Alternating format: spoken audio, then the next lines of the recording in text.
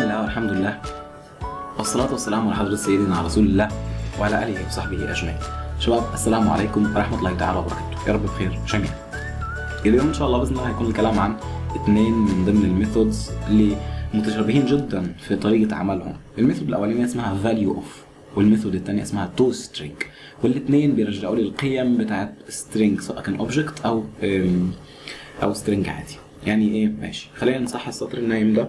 ونقول أنا معرف string. وحاطط فيه قيمة. ده ك object يعني اللي هو str وبقول له والله أنا عايز ال value بتاعت str فراح طلع لي القيمة. تمام؟ عادي جدا يعني. طيب. لو أنا استخدمت جملة تعريف تاني كأنه new object لكن برضه النوع string أنت عارف إن الاثنين تقريبا متقاربين في بعض. اللي ده object طب عارف إن في نوع string عشان double quotes أنت أكيد هتجري طالما حاطط double quotes يبقى أنت بتجري string مش عايز تعمل عمليات حسابية مثلا عليها ومش عايز تعمل له شغل تاني سواء كان math أو ايا يكن. ده بالنسبة للمثالين؟ الجانب الثاني لو أنا نومت السطر بتاع value of وصحيته string يا شباب.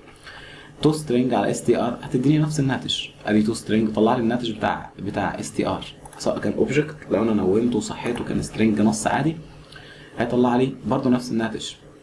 لو أنا نومت السطر ده وخليت str أساسا عبارة عن قيمة boolean هيطلع لي true ده بالنسبة ليه ل to string نومتها وصحيت value of هيطلع لي برضه القيمة true يعني المساله برضه مش ماشيه مع ال strings بس. يعني أنا بصراحة مش صدقا مش عارف الفرق ما بين الاثنين إيه بالظبط رغم إن هم في مكتبات MDN بيقولوا إن إن to the to string method returns a string representation of the object بتطلع ال string representation التعريف بس ال string is the same as ال value of يعني الاثنين تقريبا زي بعض.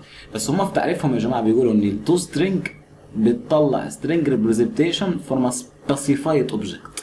ما حددليش نوع ال object ده إيه. لكن في ال value of قال لك string object. لكن إحنا لما جينا طبقناها على قيمة boolean اتضح إن الاثنين بيطلعوا لي نفس القيمة. ربما بقى إيه، واحدة بتطلع لي القيمة. string أو قيمة true دي على إنها نص وده اللي أنا حاسس أنا أنا شاكك فيه. يعني اللي هي value of دي بتطلع لي القيمة على إنها نص.